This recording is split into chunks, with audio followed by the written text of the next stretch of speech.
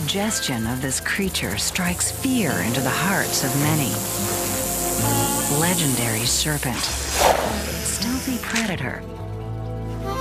This king of the rattlesnakes won his reputation for good reason. But in truth, his world is one full of danger, one that we know little about.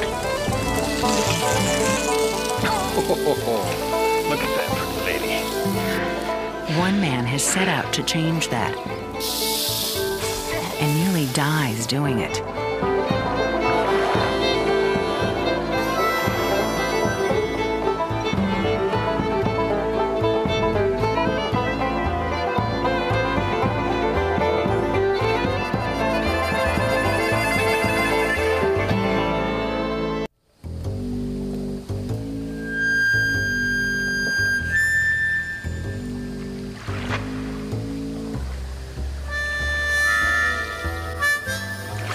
Dr. Bruce Means ventures through the inland waterways that wend from Georgia through Florida's panhandle.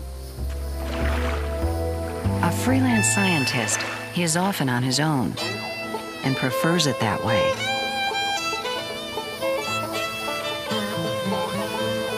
For 25 years now, Means has pioneered the study of North America's largest and most feared viper.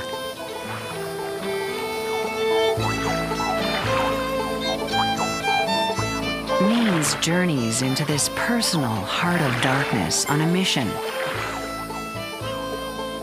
He fears for the fate of the venomous snake he is after, the eastern diamondback rattler. A proud and complex recluse, slithering toward the black hole of extinction.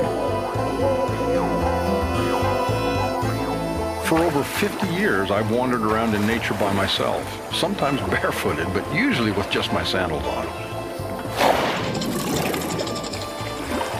Where I'm heading takes some getting used to. There's marsh and muck, but on the other side there's this paradise where the longleaf pine forest grows. And this special creature I love so much survives.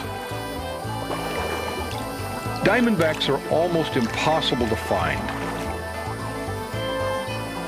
Sometimes in the summer, though, you can use the gopher tortoise for a guide.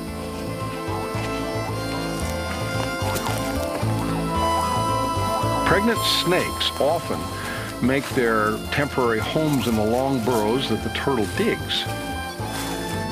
So if you find a tortoise, he can sometimes lead you to a diamondback.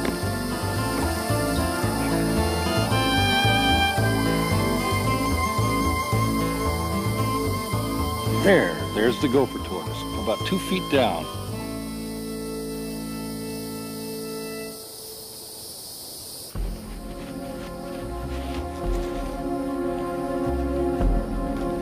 The gopher tortoise shovels out his own burrow, creating a home for hundreds of other creatures, large and small. There's another gopher of sorts, the gopher frog. Florida mouse and its pups. And something we've been searching for, something menacing. Incredibly, this is also the home of the eastern diamondback rattlesnake. A serpent scaled in diamonds. It is among the most highly evolved of all snakes, among the most dangerous, and among the most unlikely roommate any tortoise ever had. The perfect odd couple. Diamondbacks only prey on warm-blooded animals, so the cold-blooded tortoise is safe from the snake. Still, the snake is not harmless, and the tortoise is not taking any chances.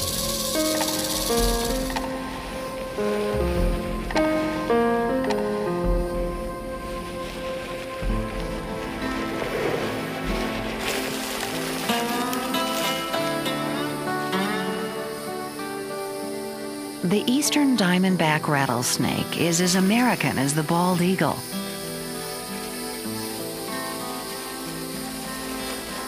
It is the largest rattlesnake in the world. This is a singular serpent. Many snakes swim, but few take to surfing like this rattler. It seems as at home at sea as it is on land. It is the king of American snakes. More forbidding, almost invisible, and utterly silent, but for its warning. Its signature, the menacing rattle signaling the nearness of sudden death. The snake's trademark is made up of scales left behind each time the snake sheds its skin. They scratch together when shaken. Amazingly, the frequency is the same as an ambulance siren.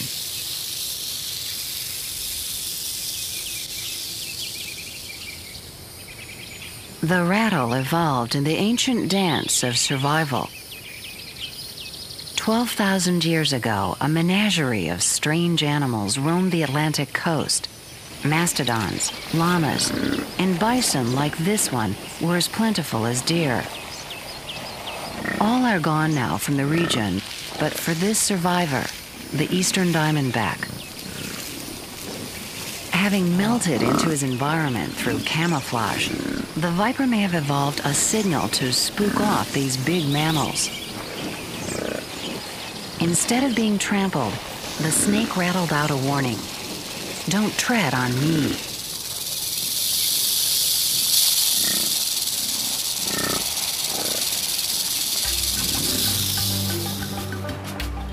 Like the snake, Means prefers to be left alone. So often, it's just the doctor and the diamondback, man on snake, and sometimes snake on man. I had hoped to be one of the few herpetologists who studied venomous animals and could say at the end of the career that I had never been bitten. Means didn't get his wish. He suffered his first bite in a laboratory accident more than two decades ago. Then a few years later, he paddled out to a distant and deserted barrier island off the Florida coast to take a wildlife inventory. The hazards of meeting up with a killer snake were the furthest thing from his mind. I was wandering through the dune vegetation and I encountered a rattlesnake, about a three and a half foot, beautiful looking female. I had my camera, so I started taking photographs. The snake uh, wanted to start fleeing, and I grabbed it by the tail and threw it up into the open, and it coiled up, so I got more photographs. And at that point, I should have been satisfied, but for some crazy reason, and I'll never know why, I decided I wanted to capture the snake. I got in front of the snake, and I'm trying to pin the head of the snake when it struck at me, and I misjudged how far the snake could strike. It could strike further than I realized. And it one fang got me on the forefinger. I looked at my forefinger and there was a pinprick of blood there, just beginning a little jewel of red. And I thought to myself, I cannot believe I let this happen. When he was bitten in the safety of his lab, he collapsed in just four minutes, his legs rubbery and useless. Now, he faced a half mile trek back to his canoe. He had no communications and no choice. The scientist in him understood that with every step he took, his chances at survival dimmed because the long march pumped the venom faster through his body. And he knew from his last experience that the legs go first. The entire time it took me to get myself to safety, there was one thing that overwhelmingly occupied the whole episode. I kept thinking, you're going to do it. Don't let this fear get you. Don't panic. Keep going. And I set my teeth. I mean, I literally clenched my teeth and I said, I'm going to do it. As the pain spread, the paralysis set in, and he still had to paddle nearly a mile across the channel separating him from the mainland. Almost 30 minutes had passed. Means knew from experience time was running out. I had many thoughts of my life passing, you know, before me, and Most of all, I worried about my children and my wife about what they would think, you know, if I were to not make it. And worst of all, here I was in a canoe, and suppose that I panicked in the middle of the water and drowned it and disappeared, and they'd never have known what happened to me. So I kept that thing in mind. I'm gonna make it, I'm gonna make it. And I, I got all the way to shore. So when I got to shore, I tried to get out of the boat, I couldn't move my legs. I was totally paralyzed from the hips down. I just threw myself over in the boat, into the water. My stuff dumps out in the water. I, I pulled myself out of the boat and didn't bother with it. It floated off a ways from me. And I literally clawed my way to my car.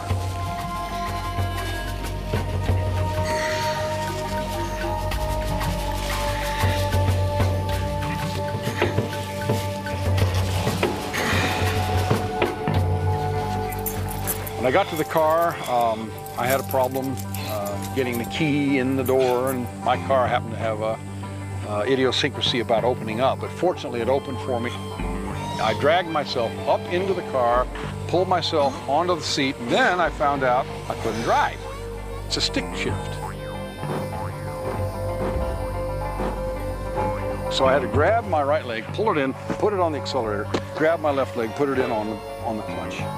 I, I, I pushed the clutch in, started the car, gave it some gas. And I was able to twist and hold it down, and I popped the clutch. I kept it in first gear, and I tore off down the road towards help, not being able to shift. So I was in first gear going down the road. The few minutes it took to drive to survey headquarters were an endless nightmare. All I could do was just turn the key off and let it chug, chug, chug, chug to a stop, open the door, and then I had to let myself down onto the pavement. The pain was like salt poured in an open wound. And worse, he was growing weaker and weaker. No longer able to drag himself over the hot, knobby pavement, he had to roll in order to move but he couldn't roll in a straight line. So he plotted a circle across the burning parking lot to his last, best chance for survival.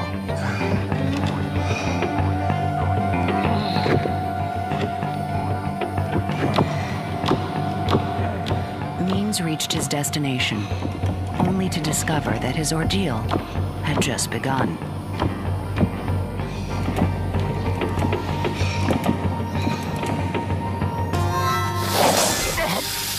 Nearly an hour had passed since the rattler sank its fangs in Bruce Means' hand. And now the scientist was discovering that the cure was as bad as the bite. 26 vials of anti-venom were pumped into his veins to stem the tide of the snake's poison. But the medicine proved an even more lethal toxin because Means was allergic to it people around me could see the twitching that goes on, a, a, thing called muscular fasciculation. The hair follicles around the mouth, and I'm fully bearded, move in a circular motion. My whole face was involved in these strange rhythmical movements of the skin, which are characteristic of eastern diamondback snake bites. He spent 10 days hovering between recovery and death often in intensive care, as his body rebelled against the anti-venom. But he survived, and less than 24 hours after he left the hospital, he was back at work, back to the snakes that nearly killed him. What is the allure? Why is Means willing to risk the snake's fatal attraction? You know, this is a magnificent creature. It's at the pinnacle of evolution, and we know so little about it. Apart from its beauty and its mystery, it has a rightful place in nature. And now it's at risk. It's actually a very benign creature. It likes to lie coiled up and hidden, waiting for food, and once in a rare while for a mate.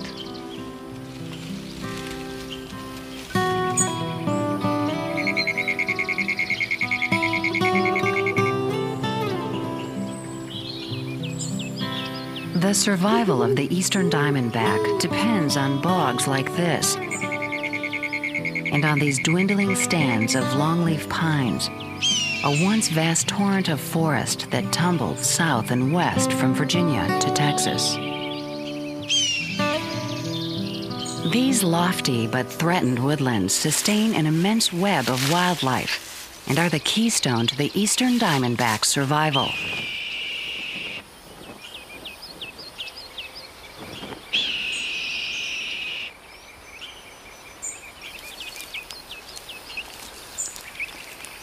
The powerful connection between the pines and the diamondbacks was little understood until Bruce Means arrived in Florida's woodlands. The snake was feared and hunted, but never studied. More than 20 years ago, Means pioneered the use of radio signals to track the eastern diamondback's behavior. He carefully introduced a harmless, mouse sized transmitter into the sedated snakes, which beamed their whereabouts. In summer, he combs the forests for his latest subject. At this point, sometimes I get so close that uh, I can't see them. They're camouflaged very well in the grass. I have to be careful I don't step on one. Ah, there it is. Ooh, a big one. Little head. Whoa, big body. Hello. Who are you? Whoa, is he heavy? Look at this. Oh.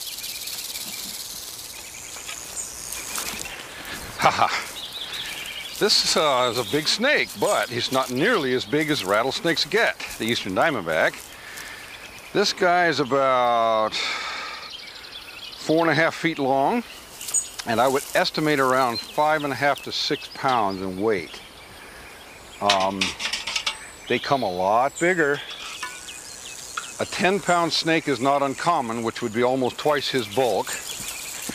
And I've known of uh, 12 and 13 pound snakes. The next thing I need to do is be sure that I don't endanger myself and also that I am careful not to cause him to hurt himself. So I'll partially narcotize him by putting an inhalant and it'll take about five minutes for him to become totally um, placid. I'm, I'm not going to put him entirely out, and then we can work with him. Let's see how he's doing. Yeah. What um, what is important here is I know he's under sufficiently for me to work with him when he's lost his righting response, which you see he's lying on his, on his back now. Now he's not out. I have to be quite careful with him anyway, but he's probably out sufficiently for me to flip him over and then capture him.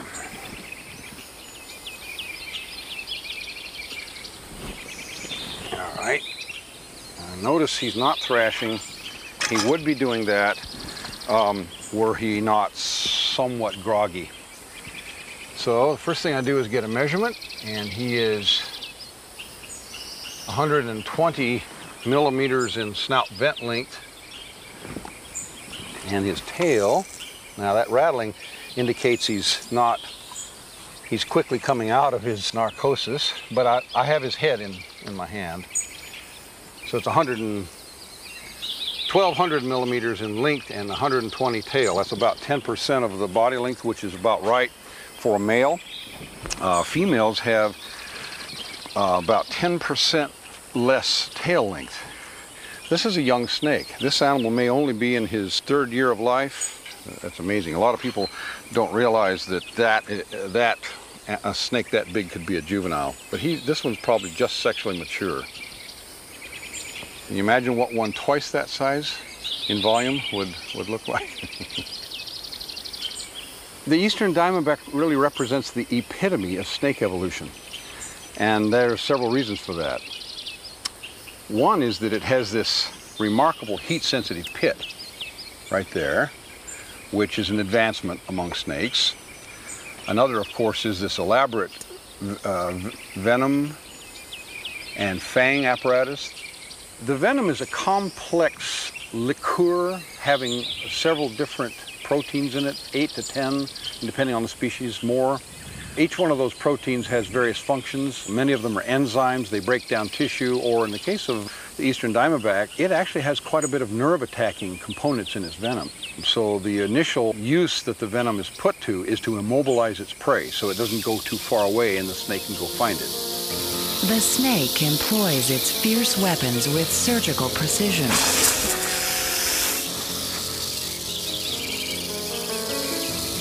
And it strikes with lightning speed.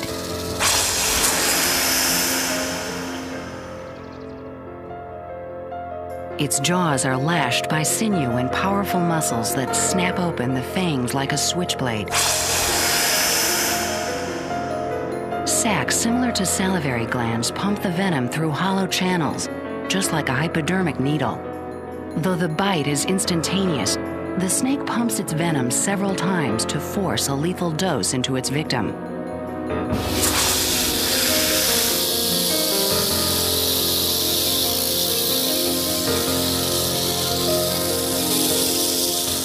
After locating its prey, the snake begins the laborious process of feeding.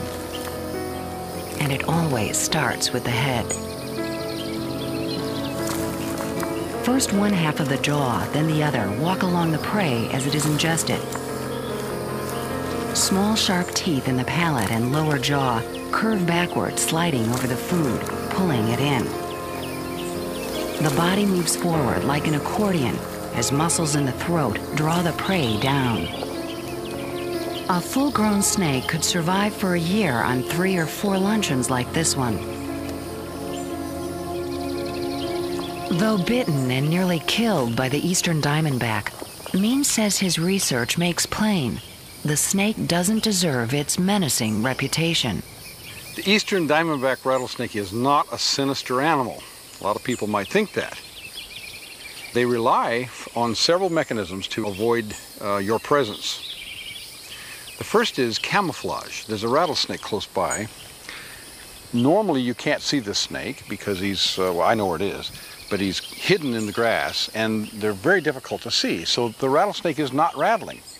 And they don't want to rattle because they don't want to attract your attention. Human beings will go over and kill it. But watch what happens. If I walk slowly toward the snake, and it perceives that I'm aware of it, which it does now, you can hear it rattling. This snake doesn't have a huge rattle string, but he's beginning to rattle. In fact, he's not rattling a lot. This is a very complacent animal. I might have to be a little more threatening. Now, you see he's orienting to me. As I walk around him, his head's turning. Oh, this guy's quite complacent. He could, he could reach me if he were to strike now.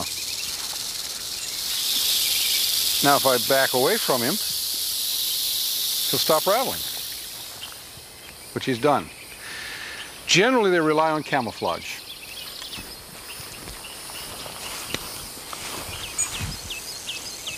Interestingly, I touched the snake to stimulate it. It did jump, but it still didn't strike me. And it'll probably strike at this point. Look at that. It did sort of lethargically as I passed it. This is sort of the common average behavior of the eastern diamondback. Some will strike, but in general, most of them don't. Uh, they're not the sinister animals people think, and they by no means chase people. They, they don't go after you. So um, how can you loathe an animal that really doesn't have dirty deeds in its heart?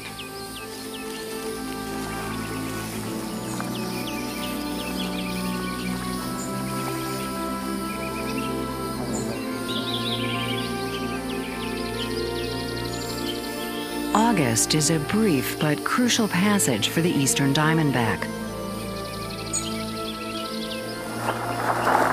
Males are on the move now, trailing the pheromones of females.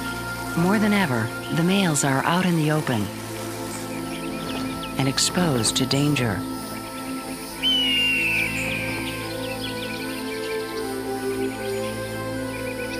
The females are less restless during this time awaiting a mate, or preparing to give birth near the safety of a burrow.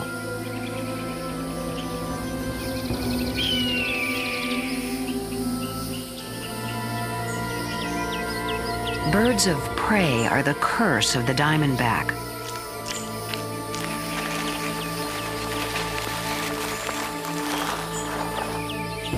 From the treetops, a red-tailed hawk can spy a snake a half a mile away.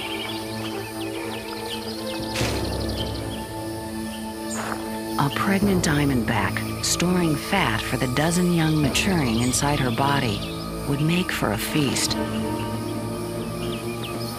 Sensing danger overhead, sends the tortoise and the pregnant rattler down into the safety of the burrow.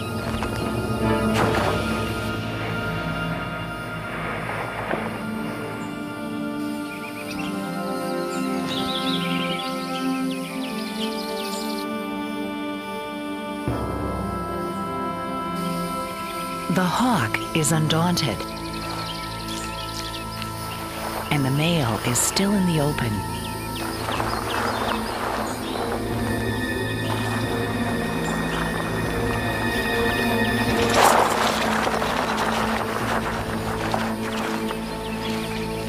Its talons over fangs. The hawk dances gingerly around its dangerous prey,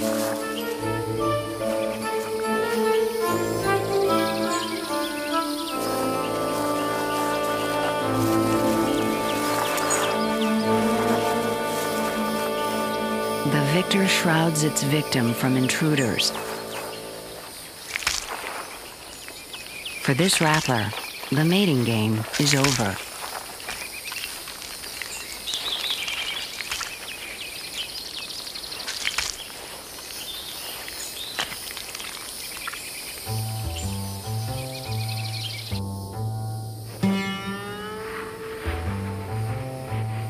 The gopher tortoise's well engineered burrow is both a safe haven and a refuge.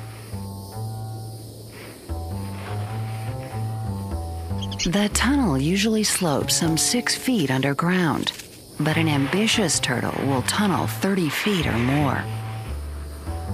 Over time, as many as 350 creatures may come and go as tenants here.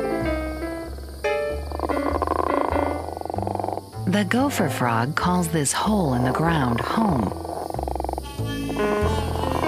Like the tortoise, it's cold blooded, and so it's safe from the diamondback. The sheepish looking gesture is really a reflex protecting its delicate eyes.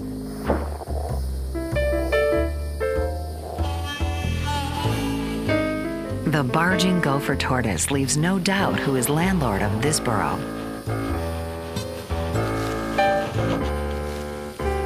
He bulldozes past the other tenants who are preparing to head out into the night.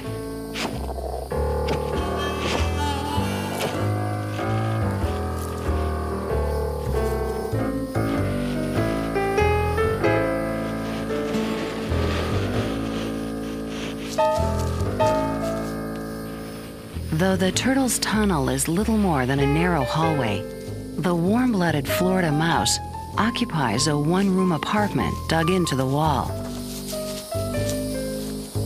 Its tiny keyhole-sized entryway keeps out the big diamondback. Though coming and going is still a risk, she and the snake tend to keep different hours. The diamondback usually hunts by day and the Florida mouse is nocturnal.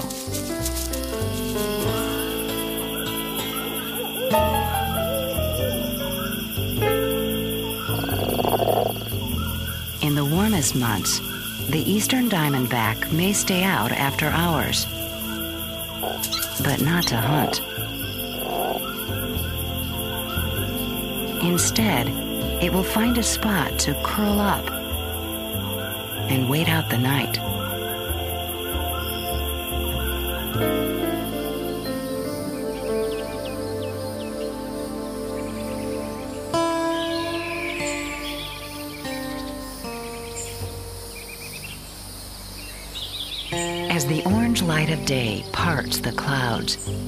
Diamondback nestles motionless at the base of a tree.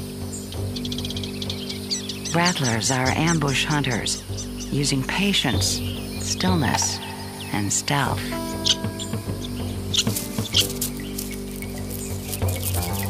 A family of squirrels ventures out into the day, unaware of the deadly interloper nearby.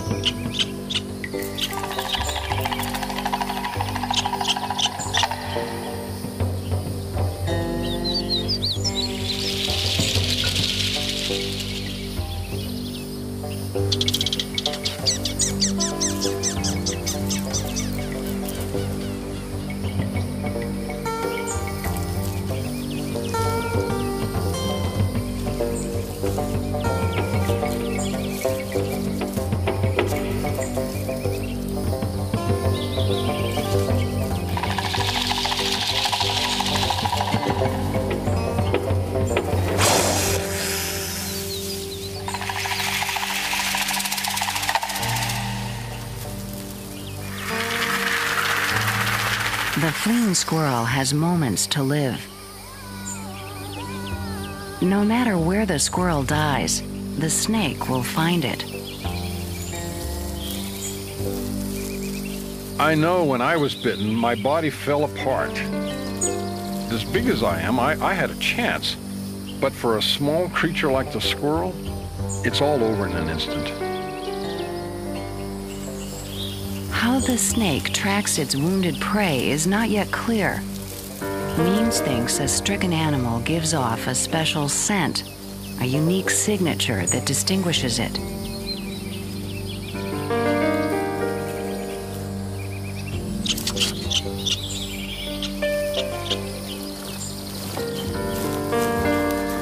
Food goes down head first, so the feet fold easily through the gaping jaws.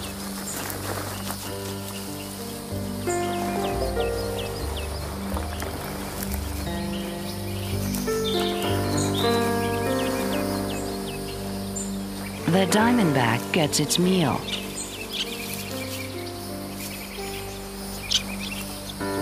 And there will be no more tales of alarm from this squirrel.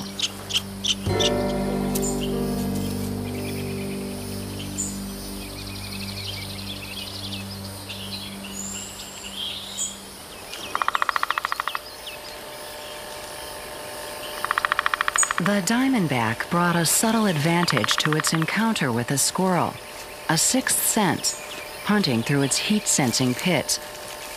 Means wants to understand the world as the snake perceives it. Gee, the, uh, the growing tip of the longleaf pine is warm. That's interesting. A pioneer in research, he has embarked on a new series of experiments. He uses a thermal camera to reveal a world invisible to humans. A world of heat radiating all around us.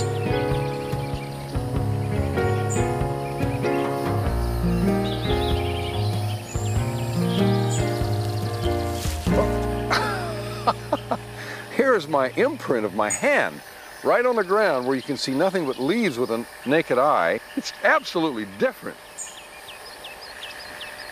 Now for an experiment. I have brought a cute little laboratory rat. Good morning, you cute little rat. You ready to be a star? And we're going to put him down on the ground to see what he looks like through this infrared camera.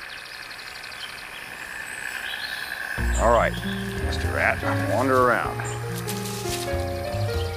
Whoa, this is fantastic. The thermal camera dramatically shows how heat from the warm blooded mouse strips it of both cover and camouflage.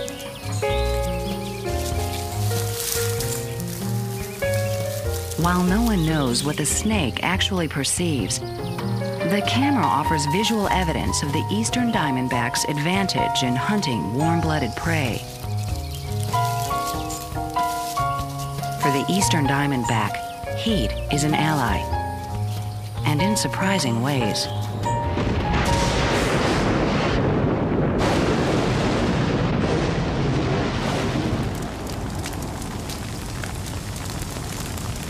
Lightning is as common to Florida as coastline, and the bolts become firebrands, setting the forest aflame.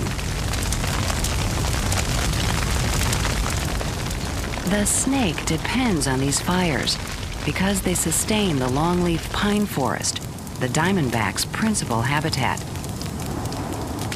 Fire burns out underbrush, allowing for new growth.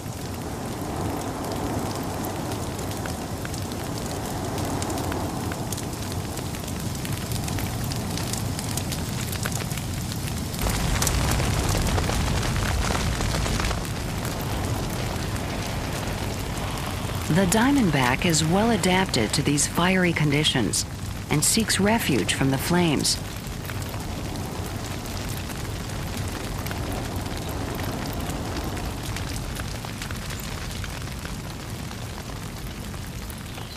This cottonmouth was not so lucky.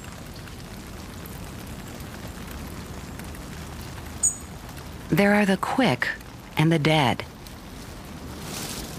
and the well adapted.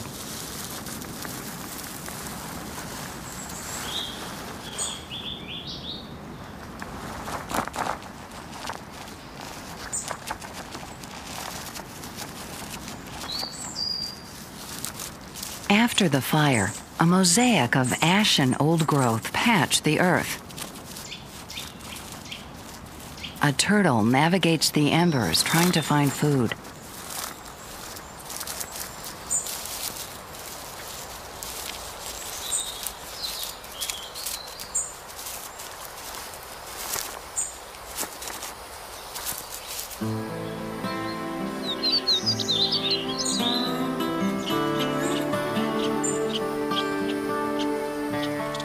Within a few days, fresh greens will have punched through the ashes, and new palmetto sprays will have fanned out.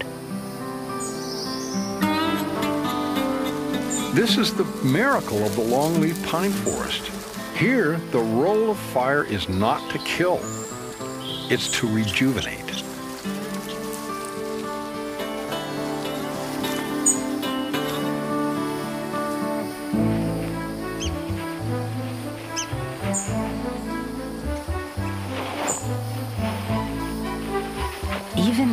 Tortoises seem to sprout from the soil after a fire.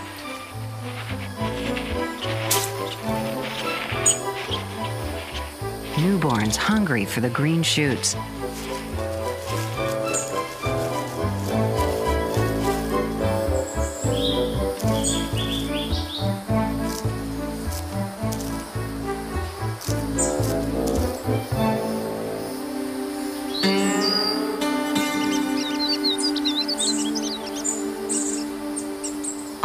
In the piney woods is a season of upheaval, and the pregnant diamondback feels it most.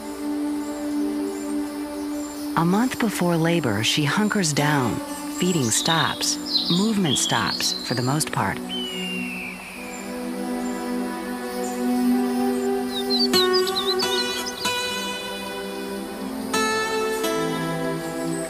Labor lasts 12 exhausting hours as she gives birth to a clutch of a dozen little diamondbacks.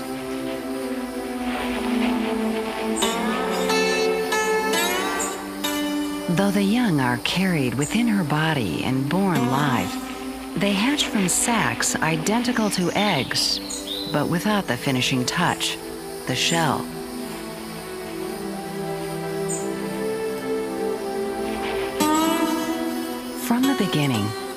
Rattlers can deliver a lethal dose of venom and soon bear the first button of their baby rattle. Conventional wisdom says snakes don't make good mothers, but Means believes eastern diamondbacks may. The mother stays close to the clutch in the first crucial days of life, although the reason may simply be exhaustion.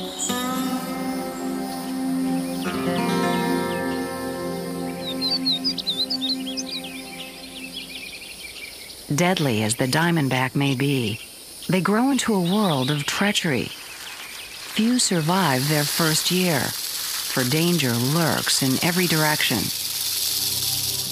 even from other snakes. The king snake is known as a muscular hunter, a constrictor that kills by suffocating its prey.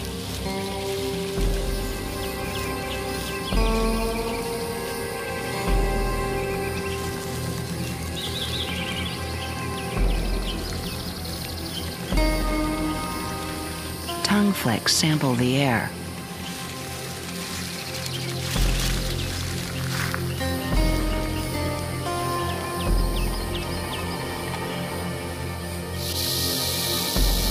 The diamondback senses a dangerous foe.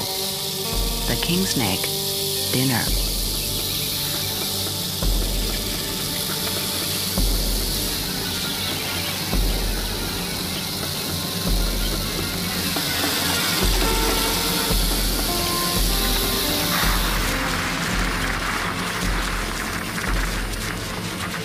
The king snake gets its name because it eats other snakes and it's immune to its opponent's venom. Pinning the diamondback in its corkscrew coils, it crushes its victim, then swallows it whole.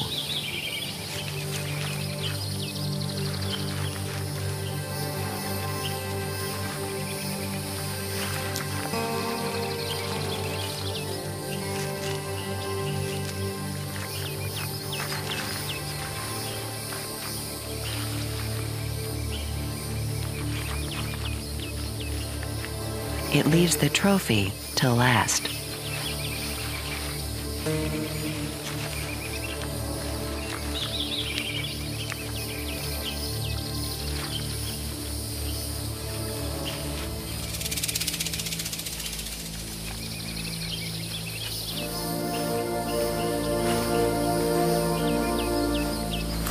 More treacherous than the snake's natural predators, the commercial hunter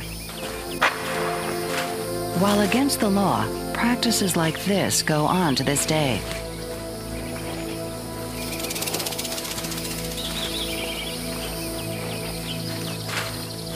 Hunters are paid $10 a foot for diamondbacks, as much as $60 a snake.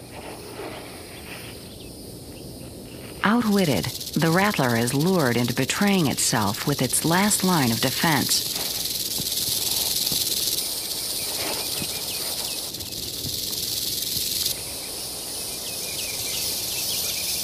The hunter listens for the telltale rattle.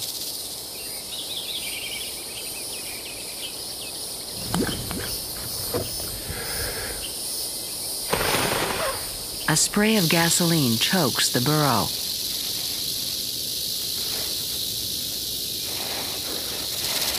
The snake is desperate to escape the fumes and abandons the sanctuary of the tunnel. Winding up in a bucket.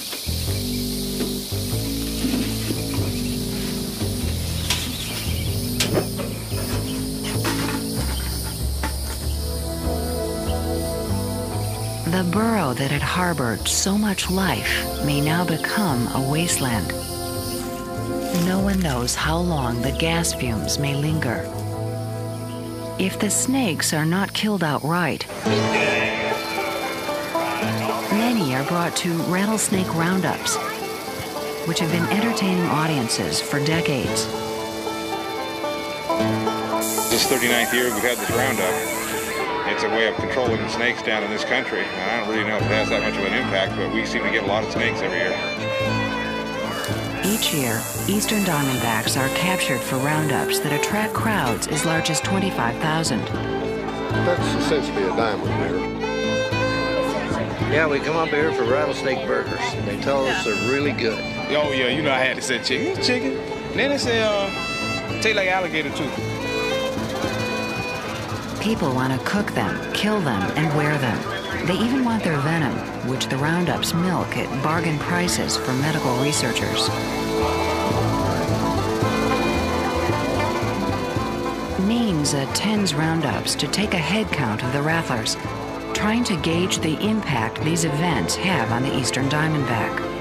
The snakes are treated badly. They're exploited for money, then killed, with no thought for them as a renewable resource. Worse than the roundup, says Means, is the skin trade. Hides become fashion. It is an ironic end for the eastern diamondback. The magical camouflage that had hid the snake so well now calls attention to its wearer. This is out of control and needs much more regulation. Even alligators are licensed and tagged now. But dead diamondbacks, they're treated as party favors. Roundups give people the wrong message. The truth is, these snakes are not expendable. They're not evil. People need to realize the value of what they're destroying. This is already a snake hard pressed to survive.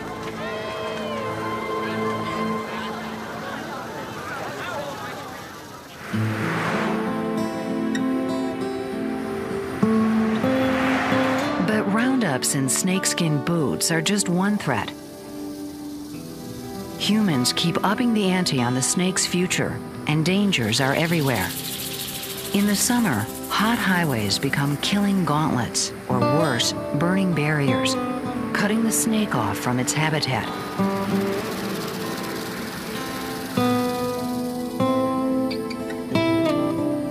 Little more than 2% of the rattler's ancient territory remains. Humanity's pattern of destruction.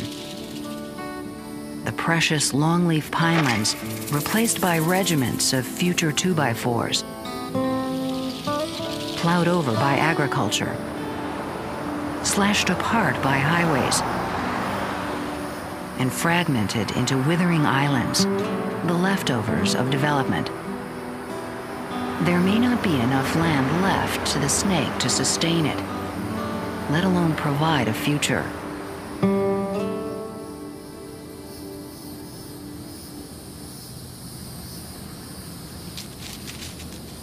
And as the snake goes, so go his neighbors.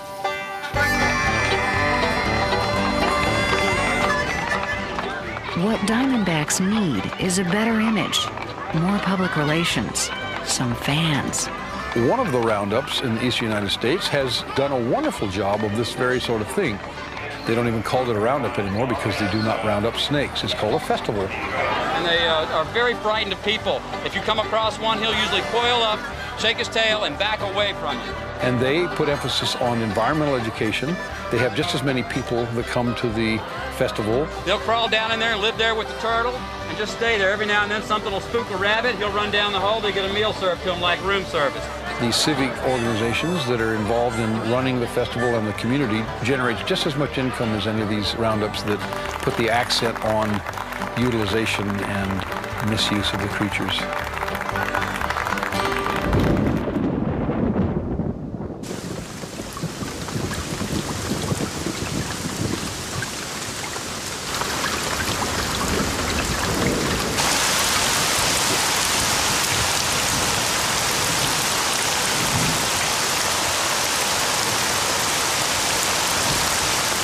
It may be that it's already too late for the eastern diamondback.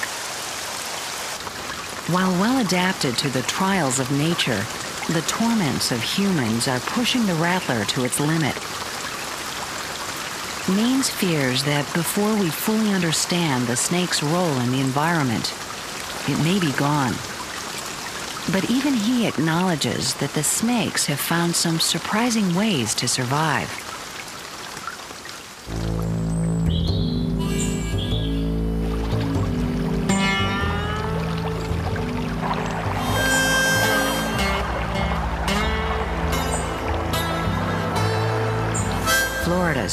Torrents flood the lowlands and tiny streams become channels.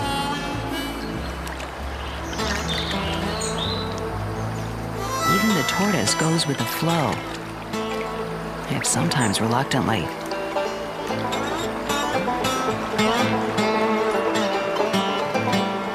The hazards of the deep abound.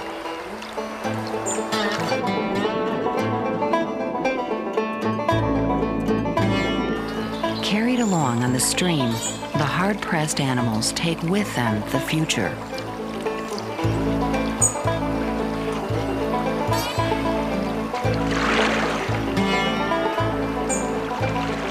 Means believes the snake's survival skills might help it endure. Swimming makes it mobile. Streams become highways, escape routes from the destruction caused by the development. Streams sometimes ferry snakes all the way out to sea. The eastern diamondback island hops. It's been found way out as far as the dry Tortugas, and that's about 120 miles from the Florida coast. This could be the snake's salvation, but like everywhere else, the islands are prime real estate for development.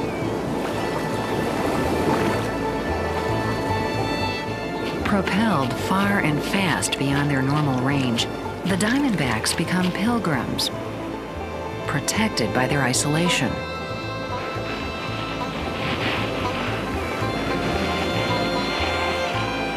Where the snake's habitat is overrun by development, the flood carries survivors to another, more welcoming place, their distant island. Though it may be full of fiddler crabs.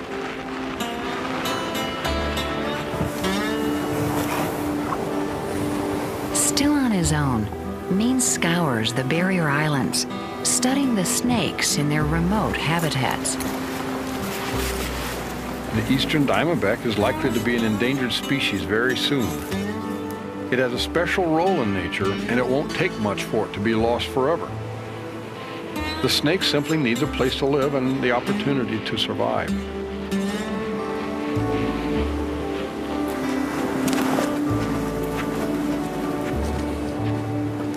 Even after 25 years of research, Means says his efforts remain a work in progress.